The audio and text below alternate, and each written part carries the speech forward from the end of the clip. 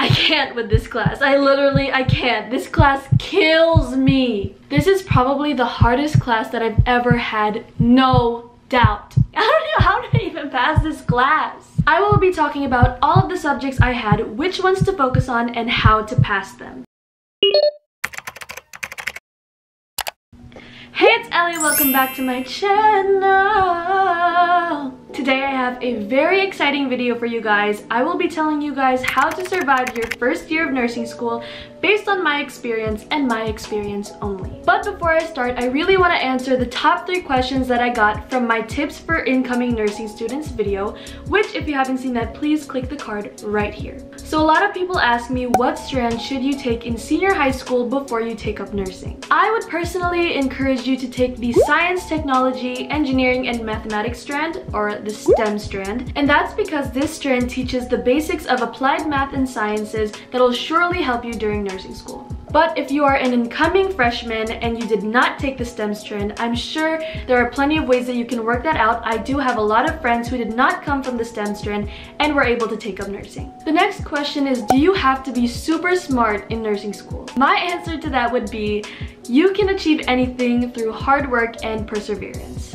I still remember my first year of nursing. I was so discouraged because in high school, I was a top student, I was in the honor roll, and then when I came to nursing school, I had such a hard time with my academics. But I just pushed myself to be better every day and here I am, still surviving. So if I can do it, you definitely can too. And for the last question, a lot of people ask me this, do you have to be good at math to take up nursing? So in nursing, you have a lot of calculations and equations to memorize. So for example, you should be able to calculate how long a woman's been pregnant, how much medicine you should give, how many drops should you regulate on an IV, stuff like that. But it's not hard to understand and it's really easy to learn. But what you do need to do is to be able to calculate things quickly and accurately. So those are the answers to the top three questions that you guys have been asking me. So without further ado, let's get on with the video. So these are all of my subjects from my first semester and as you can see, there are a few familiar subjects from senior high school. Math, Filipino, PE, Philippine history, subjects that aren't really directly related to nursing. And I know what you guys are thinking. Uy, bakit ganito? Napag-aralan na natin yan ah. Ano ba to? Feeling major. SHS feels. Yeah, but you're just gonna have to get over it and pass those subjects. I know that this may dull your excitement for nursing since you guys have already learned these kinds of subjects, but trust me when I say this. The last thing you need is for one of these subjects holding you back from graduating. So one of the subjects that you might have is understanding the self, which is kind of like a psychology slash philosophy class. We learn about a lot of philosophers and different belief systems, but the teachers really try their best to connect it to nursing. And in this subject, you should expect a lot of memorization. Name, dates, places, theories, etc. The next subject is biochemistry lecture and lab. Biochemistry is all about chemical processes within or related to living organisms. And yes, it's as hard as it sounds. So for lectures, expect a lot of analyzation and understanding the topic more than memorization. The topics that they really drilled into us the most were about macromolecules, carbs, lipids, which are also called fat, protein, and nucleic acids. Also, expect a lot of drawing of biochemical structures. They look like this, and there's always stuff like this on exams for you guys to answer about. We also did a lot of mind mapping, which really helped us understand the topics more. As for biochemistry lab, I actually enjoyed it a lot because we did a lot of experimental work by group and it made me feel like a scientist. But even if you're working with other people, you have to make sure that you understand all of the experiments that you're doing because laboratory gives quizzes and exams too. The next subject is Theoretical Foundation of Nursing, which we call TFN. TFN is such a great class, but you are not exactly learning about nursing procedures yet. Our focus was mainly on the history of nursing, its and we learn about a lot of different nurses and their theories of nursing. It's a fun class, but expect a lot of memorization as well. Okay, and the last subject for my first semester is anatomy and physiology. This right here is a given. This is a big one. This is probably the hardest subject you'll have to learn this year. No, I'm just overreacting. Anatomy and physiology is pretty easy to learn, especially if you have a good professor like I did. The only thing that makes it hard is that you have to learn a lot of different topics at the same time and it all kind of gets jumbled up in your brain. For Anaphy Lab, you'll have a lot of moving exams. Moving exams are where you have a lot of different stations and only a few seconds to answer each station until the bell rings and you have to move on to the next one. You'll also probably have to do a lot of drawing in this class because your professor is more than likely to give you a workbook to bring every class. It gets really stressful, trust me, but if you take the time to study and understand how body parts work alone and with each other, then you'll have no problem. Anatomy and physiology is a subject that you'll have to take with you for the rest of your nursing career. Of course, after your first semester of nursing, you'll have your sem break and I really do suggest that you just rest, take a break, but never ever forget what you learned from your first semester. Okay, now here are my subjects from my second semester. As you can see, there are still subjects like PE, Filipino, ethics and communication, but I didn't really mind at this point because the teachers made them really fun to learn. Ethics was a really fun class for me. It kind of reminded me of understanding the self because we did learn a lot about philosophers, their beliefs, and their theories.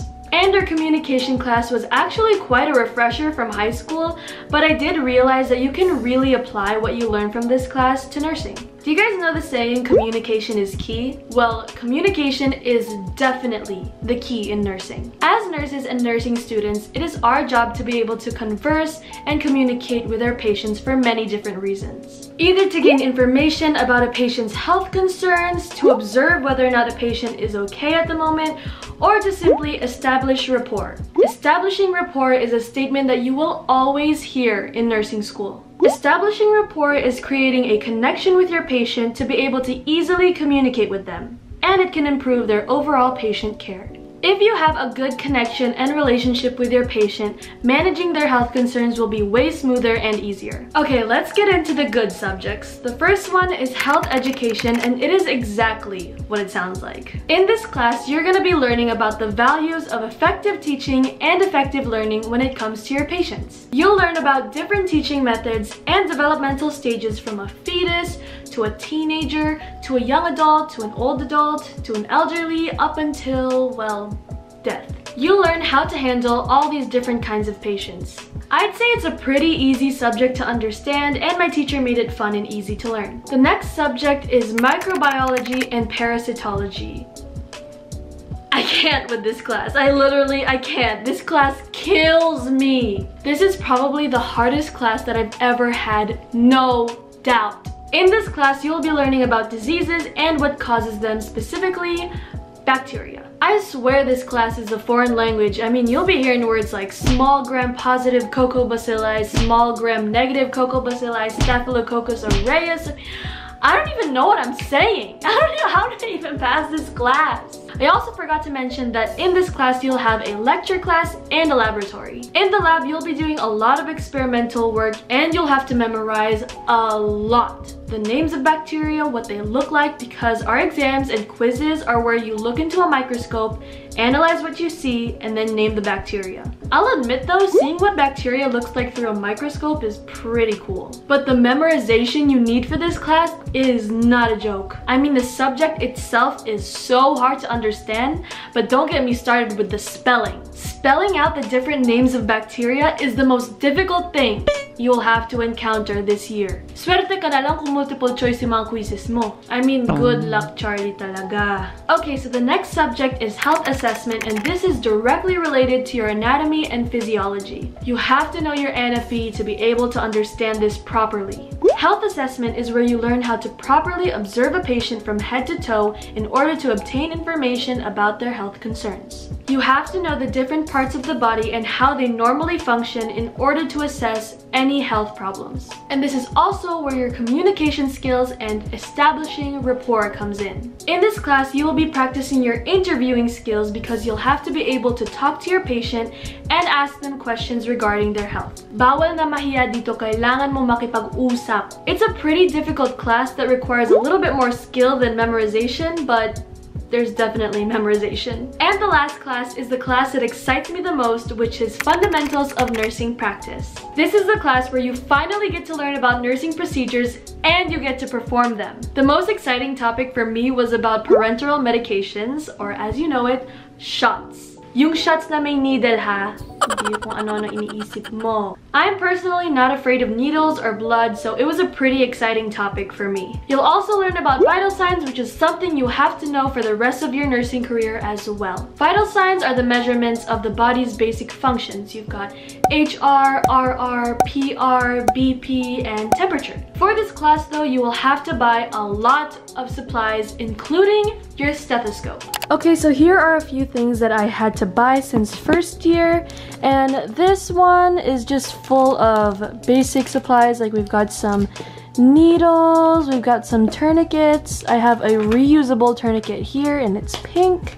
I have some syringes and cotton applicators, some straight forceps and surgical scissors, some cotton balls, more syringes. I have kidney basins, I have a medicine tray here, and a bandage wrap. And then I have my sphygmomanometer to measure my blood pressure. I have my pulse oximeter and I actually didn't buy this till the second year but I really do suggest you buy one because it is really helpful when taking vital signs but I think for first year you're going to have to measure your pulse rates manually but I just really like having this. And then this is quite a game changer for me. I bought this ever since first year and it is a case for my stethoscope which is a Littmann. I have a bandage scissors, I have a pen light, I have my thermometer, and a few gauze pads here. And yeah, these are all a bunch of things that I had to buy since my first year of nursing school. You should also expect a lot of practicals and return demonstrations. These are where your teacher shows you a certain nursing procedure and then you have to perform it for them. And here is a huge tip. Know your professor's teaching style. Just like people learn differently, people teach differently as well. Some professors are chill and care more about understanding the topics, while other professors want every single little thing in a specific way, and other professors are a mix of both. If you have a professor that likes things specifically and in detail, I suggest you pay very close attention to what they teach and take down lots of notes. But if you have a professor that is more laid back and focuses more on the bigger picture of things, I suggest that you don't stress out on any details that they wouldn't emphasize on. This can apply to recitations, quizzes, exams, and practicals. So that is all I have for you guys today. I really hope you guys got something out of it and that this really guides you through your first year of nursing. If you guys want me to do this kind of video every single year, like for second year, third year, up until graduation, please comment down below. And if you have any other video suggestions, also please comment down below. I'm also open to any other questions that you might have. Feel free to leave it down below and I will answer as many as I can. If you like this video and you found it very helpful, please give it a big thumbs up. Don't forget to subscribe, hit that notification bell. Don't forget to follow me on Instagram and Twitter and all of that jazz. I'm Ely. Don't forget to keep it simple. I'll see you in my next video. Bye, and good luck with your first year.